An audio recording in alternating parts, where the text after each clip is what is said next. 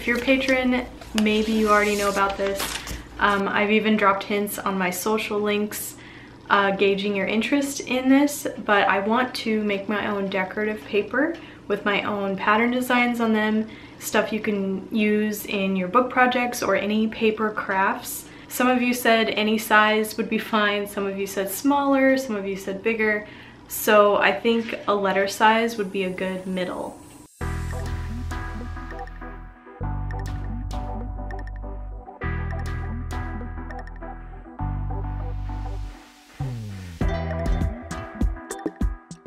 So I found a little bit of a problem with the paper I just printed.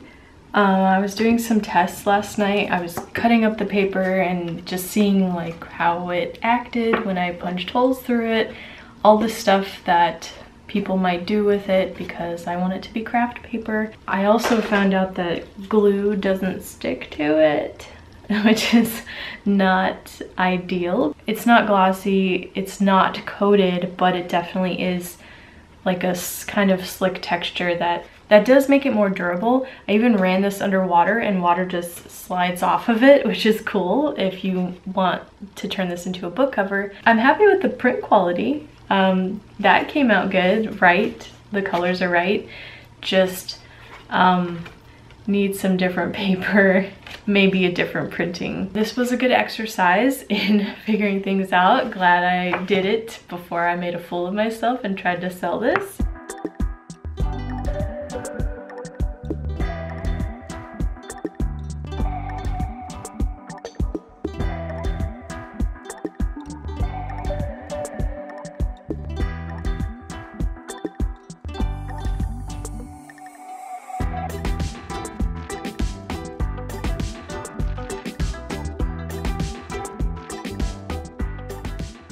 I am on a few print-on-demand sites, which I'll link below, and Zazzle was the only one that I found where you could actually sell your own custom flat paper sheets at a decent price. They also have different size and paper options, which gives you guys or the customers the ability to choose what they want without me having to buy extra inventory and not knowing if it would sell. Honestly, I don't have much experience using this site, so I asked you guys what you thought and your experience Thank you very much for your feedback on my community post. For the most part, you guys seem to be happy with their quality and their products, so I wanted to give it a try. When I purchased a few test sheets, I saw that they have their own shipping program, which is kind of like Amazon Prime, but you can get unlimited standard shipping for just 83 cents a month. I thought that was pretty good, so I actually signed up for it.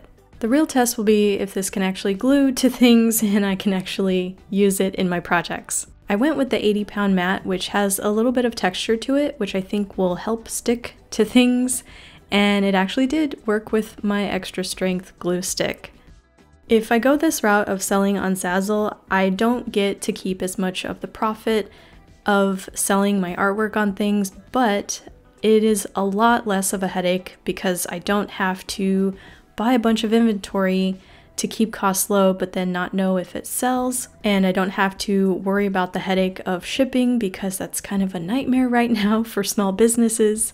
I also wouldn't have to buy a bunch of shipping supplies. And I feel like it would be less limiting as a creative because I have a lot of pattern designs and I could put them all in this Zazzle shop instead of just picking a few to print because that's all I could afford to do.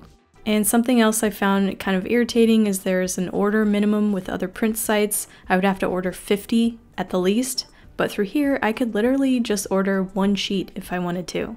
That would be nice so I could have it on hand for projects I plan to do, and it would also be nice for you guys because you could just pick and choose which patterns you want to print. It just frees up a lot more options for me and for you. So here you can see I tested it out on a book project and I, I am just relieved that it actually sticks to paper and board and I think the quality is just as good as the other printers. So I think I'm going to sell my decorative paper through the Zazzle shop, at least for now, and if you want to follow it, I'll link it down below. Just know there's nothing in it right now, so it's totally blank. I haven't uploaded all the designs to it yet, and when I do, I'll make an official video on my main channel and go over some of the print samples and sizes. If you guys have any input on Zazzle or want to just suggest anything about making scrapbook or decorative paper, leave it in the comments below.